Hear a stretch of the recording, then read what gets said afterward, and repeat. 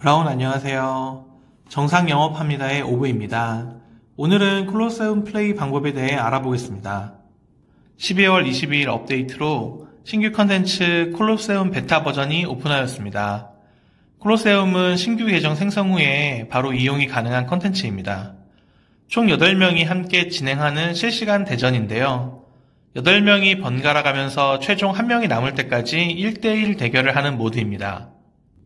신규 계정의 경우 튜토리얼은 진행하셔야 하고 오른쪽 하단에 있는 대전 탭에서 콜로세움 진입이 가능합니다. 콜로세움에 진입하면 콜로세움 로비가 나오고 매칭을 클릭합니다. 매칭을 클릭하면 3분 동안 8명의 매칭 상대를 검색합니다. 3분 안에 매칭되지 않으면 매칭 실패가 되므로 컨텐츠 이용에 참고해주세요. 매칭이 되면 먼저 단장님들이 조작할 수 있는 전술 단계가 진행됩니다. 전술 단계 화면을 보면서 설명드릴게요. 맨 위에서 몇 번째 전술 단계인지 알려주고 있습니다.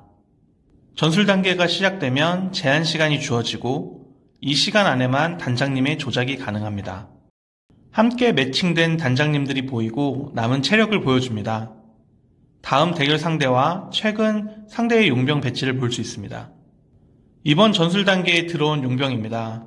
랜덤으로 주어지기 때문에 초반에는 아무거나 선택하셔도 되지만 성급에 따라 용병 개수가 정해져 있어 전투를 하면서 상대가 어떤 용병을 가지고 있는지 확인하여 경쟁이 심한 용병을 포기하고 다른 용병을 모아 성장시킬지 아니면 먼저 모아 공격할지 혹은 손에 들고 풀지 않을지 등 전략을 구사할 수 있습니다.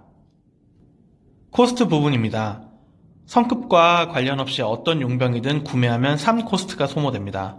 삼성 용병을 구입해도 5성 용병을 구입해도 동일하게 3코스트를 소모합니다.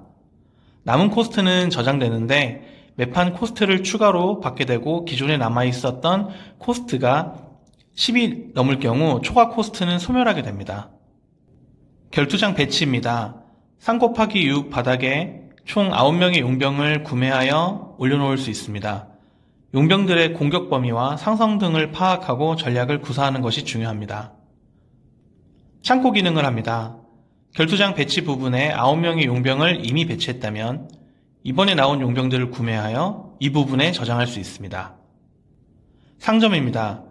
코스트를 소모하여 level up을 할 수 있고 매턴 더 높은 등급의 용병을 더 많은 숫자로 받아볼 수 있습니다. shuffle을 해도 동일한 효과를 받을 수 있습니다. 원하는 용병을 모두 샀거나 없을 경우 코스트를 소모하여 새로운 용병을 받습니다. 판매 버튼을 누른 후 불필요한 용병을 선택하면 용병을 판매하여 코스트로 전환할 수 있습니다. 삼성을 판매해도 5성을 판매해도 동일하게 1코스트를 얻습니다. 출정 용병의 공격 순서를 변경하여 배치와 함께 전략을 구성할 수 있습니다. 내가 이번 전투에서 먼저 공격할지 나중에 공격할지 보여줍니다. 동일한 용병을 3개 모으면 하나로 합쳐지면서 각성하게 됩니다. 능력치는 더 높으며 각성 시 각성 보너스로 각성을 성공한 용병보다 등급이 더 높은 용병을 무료로 얻을 수 있습니다. 전투 단계가 되면 전술 단계에서 세팅해 놓은 용병의 배치와 공격 순서대로 상대와 전투합니다. 모든 상대의 HP는 40인데 모든 HP를 소모하면 패배하여 방에서 퇴장하게 됩니다. HP는 이긴 단장님의 남은 용병 강함과 상점의 성장치를 합하여 상대방의 HP를 깎습니다.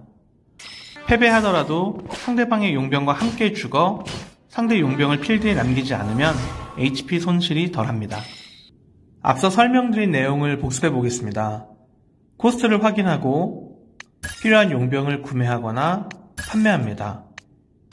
3개를 모아서 합칠 수 있는 용병은 합쳐 각성시켜서 더 강하게 만들고 각성 보상으로 추가 용병을 얻어 전력을 강화시킵니다.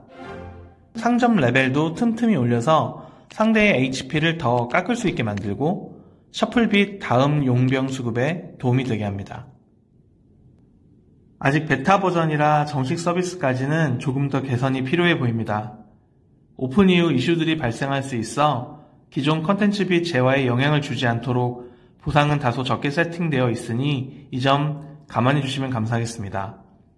누구나 공정하게 전략과 실력만으로 즐길 수 있는 콜로세움에서 자신의 실력을 확인해 보세요. 저도 플레이하고 있으니 함께 매칭해서 겨뤄보시면 어떨까요? 커뮤니티에서는 캐릭터별 능력치와 스킬 설명도 상세히 나와 있으니 가이드를 참고하셔도 좋을 것 같습니다. 곧 또 다른 소식 가지고 찾아뵙겠습니다. 그럼 감사합니다.